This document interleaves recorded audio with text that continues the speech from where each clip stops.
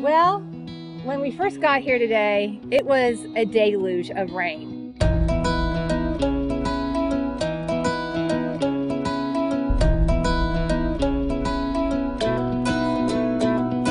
Social Venture Partners came out this morning and uh, worked in our native plant nursery and helped us pot uh, Doug fir trees. And then after lunch, we headed over to Issaquah Creek and planted native trees along the, the creek banks in order to stabilize them and grow a more diverse ecosystem.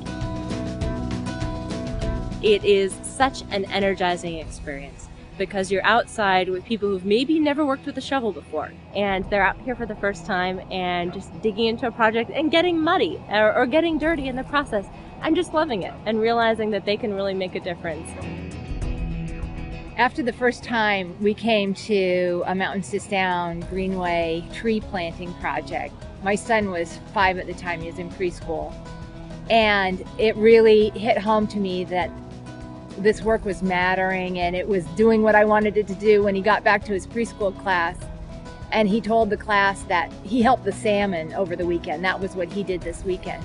And I was just, oh, yes, that is what I want. I want him to make the connection that he's doing something to help his environment and the community where he lives.